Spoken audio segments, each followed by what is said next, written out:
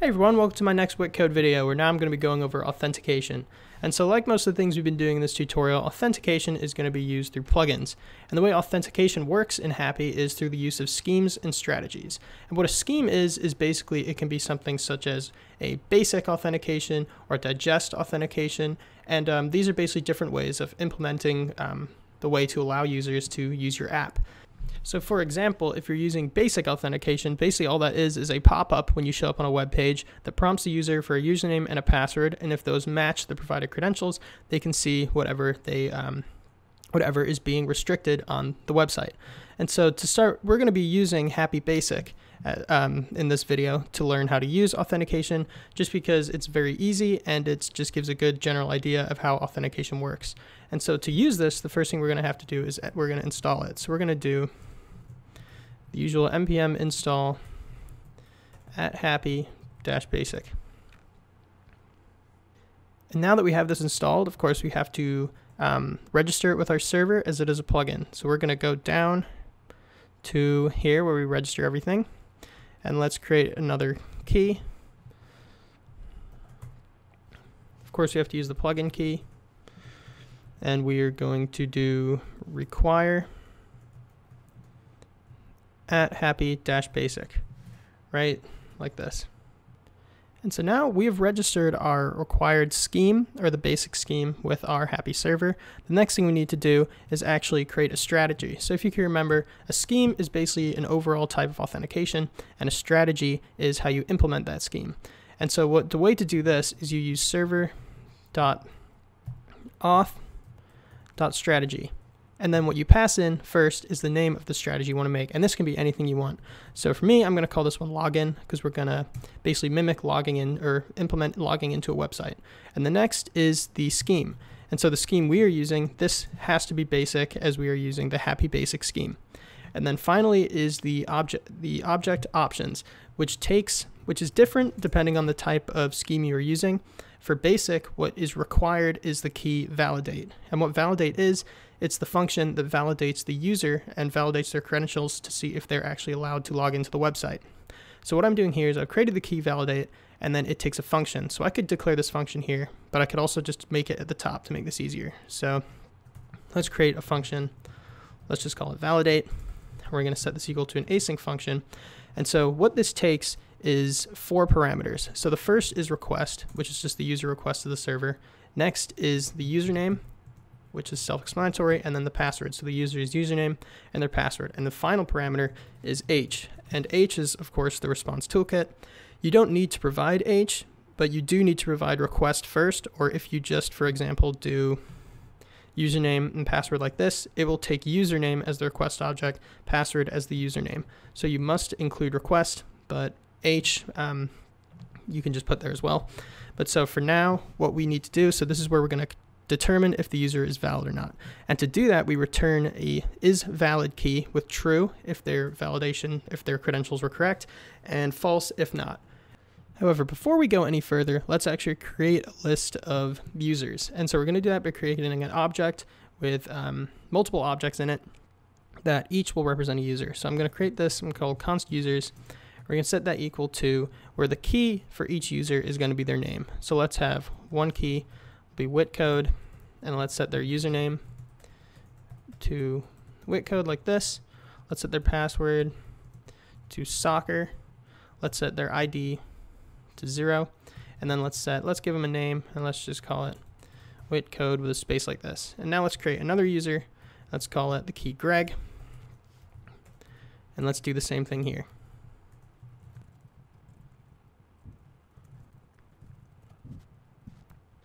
So now that we've got our users object up and running, this is where we're going to actually do the validation. So if you remember, the first thing that we need to do, or you return is valid if the credentials match, and or is valid is true if the credentials match, and is valid to be false if they don't match. And so the first thing that we want to do in here is we want to check if the user that is being supplied to the basic pop-up actually exists. So the way to do that is we're going to do users of username we're going to add an exclamation here for if that user doesn't exist, then we will return an object with the key is valid, and we'll set that to false. So basically what is going on here is this is why we have the username to be equal to the key. So if that user doesn't exist, then we're going to return as valid as false. So this validation won't work and the user will be prompted again to log in. And if this, on the other hand, well, if this user does exist, we're going to set the user equal to users of that username. And now we're going to check it for the password. So then we will do if user dot password equals password. Then we want to return is valid set that to true. And then the next thing we can pass is credentials. And these are things that we can then access later on in um, each of our routes with the request object. So we can do request.auth.credentials and then the name of the credential. And so this can be whatever we want to pass. And for me, this is why I added these extra fields here, ID and name, because I want to be able to pass those too. So then we can do ID, set credentials equal to another object, and we'll do ID will be user.id and we'll also pass the name, and that'll be user dot name. So if the password, so if the user exists, and then also if that password matches the password that was passed in to the basic pop-up. So the username here is what's passed to the basic uh, pop-up as a username, and this is the password that is passed.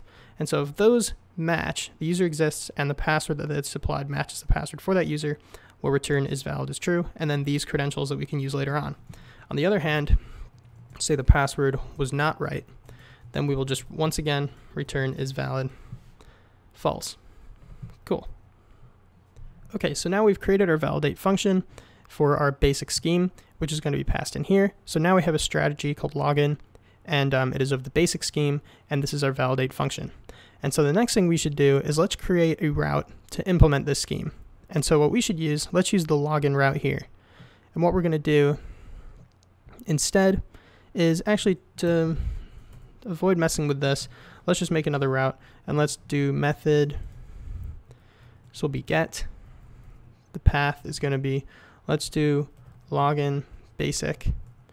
And then for our handler, the user request h. Okay, and so this is where we're going to do our validate functions. So we're going to return welcome to my restricted page, something like this. And so right now this would not do anything. So if we just went to this page, um, we would get welcome to my restricted page. And this is because we have registered this strategy with our server, but we are not actually implementing it on any of our routes. And so to do that, we are going to pass another parameter called options. And then what we're going to pass to that is auth. And then what it goes here is the name of our strategy. And so the name that we called it right here is login. So now if we go to this route, we should be greeted with the pop-up to log in, and then we should check if our credentials match. So let's run this. And then let's do the usual dash E, HBS, um, JS, server.js. Oh, we're up and running. Let's go here. And let's go to dash login basic.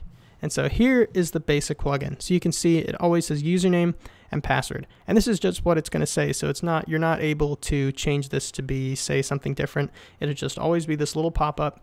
You can make the pop-up disappear by messing with the headers. I believe it's www authenticate, but we're not going to be doing anything like this because we'll be using different uh, schemes to implement different types of logging in. But so for now, let's just add our username, and I believe one of them was WittCode. Let's get it wrong. So do this, sign in, you can see it just popped up again. And you can see also we can't see any of the content here because we have not authenticated ourselves yet. But so if we do WittCode, and then for the password, I believe it was soccer.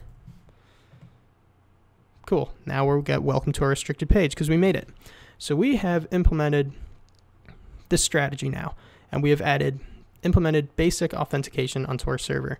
However, you may be wondering, right now, we can we can't really log out. So let's say we go back to the home page. Let's go back to login basic. We won't get prompted again. And that is because usually you do not use um, the basic scheme for logging in and logging out. That's usually used more so with sessions and cookies. But what I want to show you is I also want to show you a cool plugin called Boom, which can be used to say log you out of a basic authentication. And so what Boom does is it basically throws um, uh, user-friendly HTTP messages. And so the way to use this is we're going to do npm install at hapi dash boom.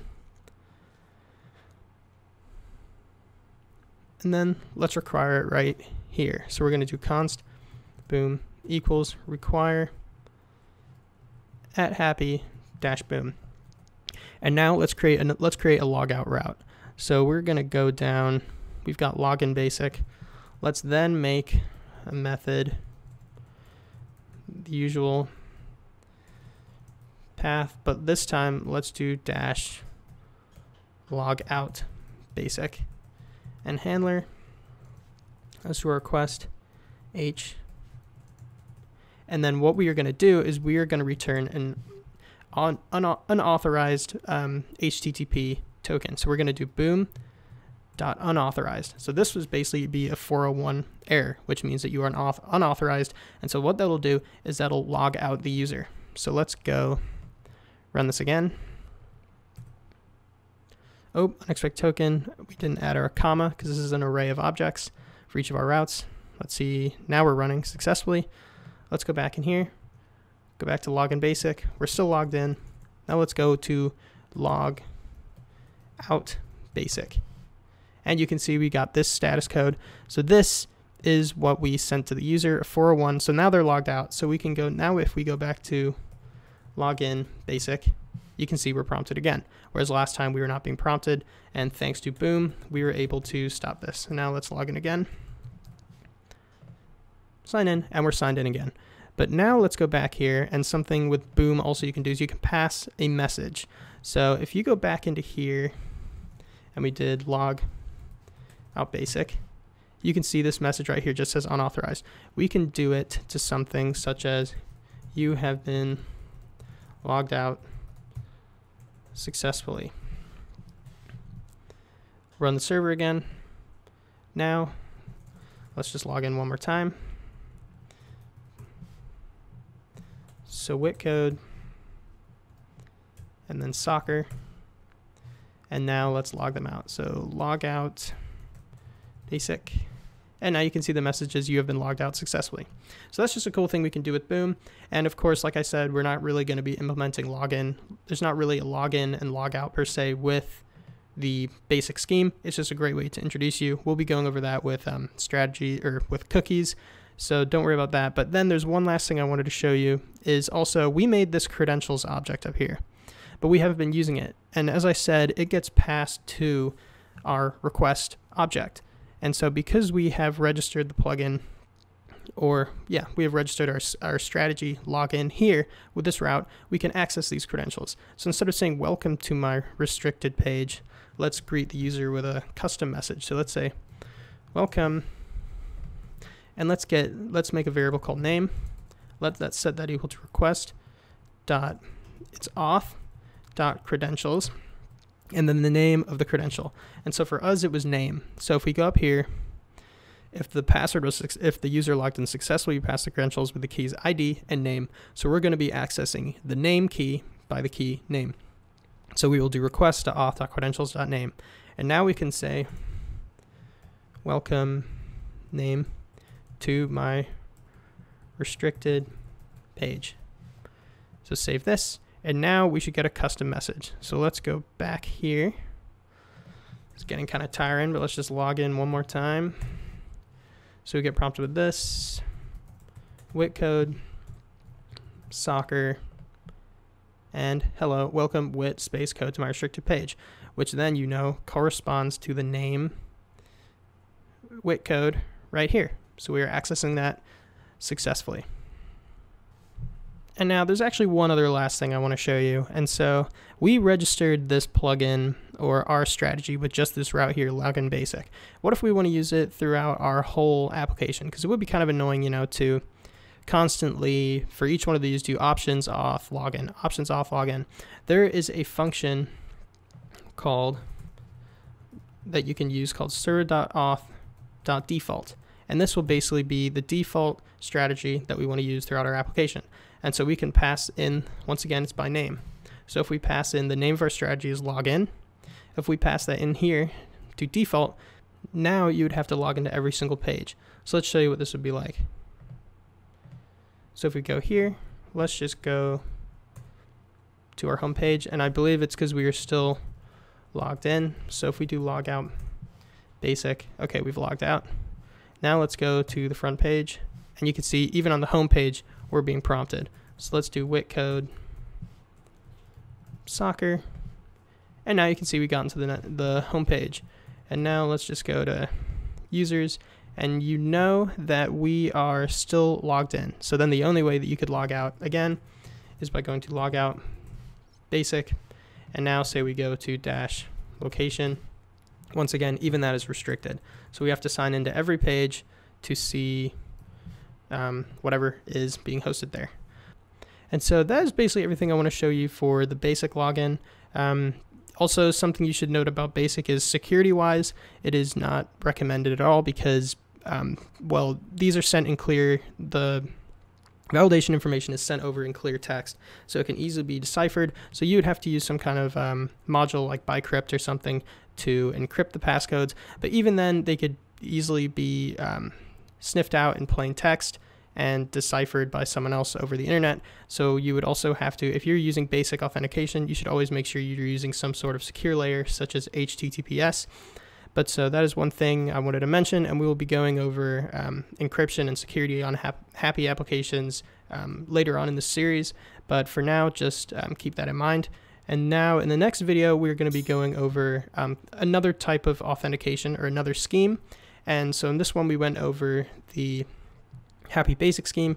In the next one, we're going to be going over cookies or um, the session scheme. So I'll see you in the next video.